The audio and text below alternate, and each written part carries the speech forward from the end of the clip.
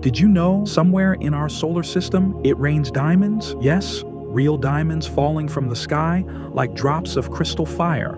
This incredible phenomenon happens on two mysterious planets, Neptune and Uranus. Though we call them ice giants, deep inside they're hotter than fire, thousands of degrees Celsius. When lightning strikes their methane-rich atmosphere, the molecules break apart, releasing pure carbon atoms. Under immense pressure, these atoms compress into graphite and then crystallize into solid diamonds. Imagine billions of diamonds forming in a storm, falling through layers of methane and sinking deep into a glowing ocean of gas and heat. Scientists at Stanford University even recreated this diamond rain in the lab, proving it's not just theory, it's real physics. So, somewhere out there, beneath the blue haze of Neptune, diamonds may be falling endlessly in the dark. On Earth, diamonds are treasures, but out there, they're just another kind of weather.